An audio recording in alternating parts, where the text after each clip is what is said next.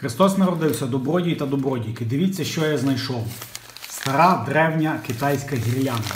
Це з тих часів, коли гірлянди були ще без автоматизованих перемикачів, коли просто вилка в розетку і нічого більше немає. Немає перемикача, кнопочки з вибором режиму, а просто гірлянда.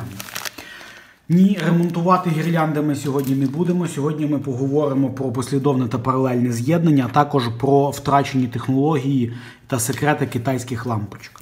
Отже, послідовне та паралельне з'єднання. Існує два типи з'єднання: послідовне і паралельне. Послідовне говорить саме за себе. Навантаження з'єднане слідом, одне за одним, слідує з одного на друге, з одного на друге, з одного на друге. Є паралельне з'єднання. При паралельному з'єднанні сумується струм, а при послідовному з'єднанні сумується напруга. Уявіть собі, що у вас є лампочка на 5 вольт. Але ви хочете зробити гірлянду і ввімкнути її в 220 вольт. Звичайно, вона відразу перегорить. Щоб цього не сталося, власне, використовується послідовне з'єднання. Тому що якщо послідовно з'єднати дві лампочки на 5 вольт, їхня напруга сумарна стане 10 вольт. Відповідно, щоб гірлянда працювала в режимі і не перегоріла жодна з лампочок, при 220 вольтах прямого включення низьковольтних лампочок нам потрібно 44 лампочки. На кожній лампочці буде падіння напруги, і воно буде рівне значенню 5 вольт при 44 лампочках. Струм в колі буде одинаковий. При паралельному з'єднанні струм буде сумуватися, а напруга буде одинакова на всіх лампочках. Якщо лампочки будуть різної напруги чи на різний струм, вони будуть світитися з різною яскравістю. Нас зараз цікавить не це. Ми вже знаємо, що гірлянди зроблені послідовним підключенням. Це з одного боку класно, а з другого боку небезпечно викликає дуже багато проблем. Уявіть собі, коли згорить одна лампочка при паралельному з'єднанні, інші продовжують світити. А при послідовному, коли розірветься коло, вся гірлянда перестає світити. Ви неодноразово це бачили. І це було проблемою. Попробуйте в цьому жмуті дротів знайти спалену лампочку. Китайці придумали вихід. Це було зроблено давно. І ми вже за ці технології забули. Перед нами дві лампочки. Одна з них спалена, друга ні. Дивимося лампочку. Має умовно опір 6 Ом. Підпалена лампочка має опір 1 Ом. Як же так? Чому? Якщо взяти робочу лампочку, підключити її до батарейки, можна побачити, що вона світиться. А спалена лампочка з одним омом чомусь не світиться. Як же так, давайте розбиратися. Для початку придивимося до самої лампочки. Був би фокус. Ось, видно два електрода, між ними спіраль вольфрамова.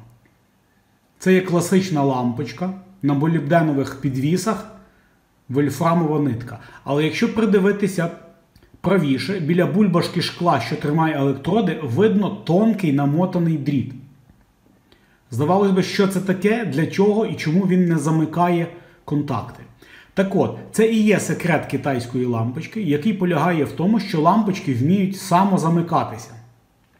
Це відео прийшло мені в голову завдяки дописувачу, котрий е, висунув теорію, щоб шунтувати світлодіоди в діодній лампочці конденсаторами, і при вигоранні діода, щоб конденсатор пробивався і решта світили. І, власне, це спочатку викликало в мене обурення, а потім прийшло прозріння, бо така технологія вже використовувалася.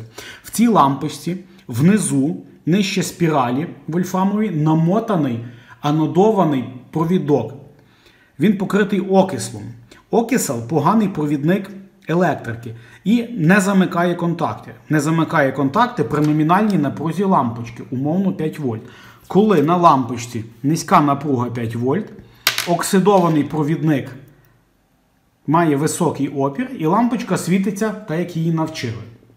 Але в момент, коли перегорає нитка, ланцюг розривається, струму немає, і напруга нічим не обмежена, на спаленій лампочці опиняється 220 вольт. Це, до речі, є якраз небезпека гірлянди, тому що якщо ви десь зубами хапнете за розбиту лампочку, у вас телепне, як книжка пише. І ці 220 вольт. Вони пробивають оксидну плівку цього дротику, і він замикає лампочку. В результаті ми отримуємо замикання. З'єднання в нас послідовне, в нас зменшилася кількість лампочок. У нас вже стало не 44 лампочки, а 43 лампочки. Напруга на кожній піднялася, але піднялася вона там на 0,0 скількись там вольта. Відповідно, на загальну роботу це практично не впливає. Але за рахунок замикання самої лампочки гірлянда продовжує працювати без одної лампочки. Не треба нічого шукати, воно все працює, все як книжка пише. Ось такий простий спосіб, механічний, без електроніки, без нічого, як придумали китайці. По-моєму, це просто геніальний спосіб. І, в принципі, можливо, ще десь колись його можна буде використати. Але це ще не всі таємниці. Ви знаєте, що сучасні гірлянди вміють блимати. Це робиться завдяки коробочці, в котрій є мікропроцесор і керуючі елементи. Вони комутують три або чотири контури гірлянди, і вони з різними програмами між собою перемикаються. А як же блимали старі гірлянди, котрі не мали таких комутаторів в ті часи, коли ще такого не придумали? Давайте розбиратися. Крутимо, дивимось, шукаємо. Що ж ми шукаємо в звичайній гірлянді? Зверніть увагу, лампочки є різнокольоровими, а одна є білою. Давайте її висмикнемо і подивимось на неї ближче.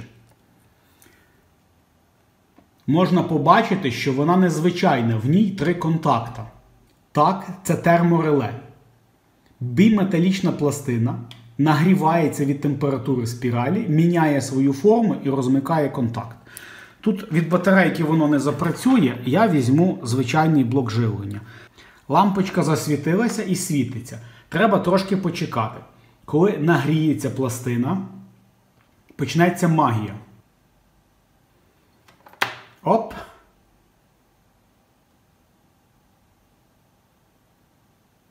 І ось така лампочка термореле розриває ланцюг послідовний всієї гірлянди, і гірлянда починає блимати.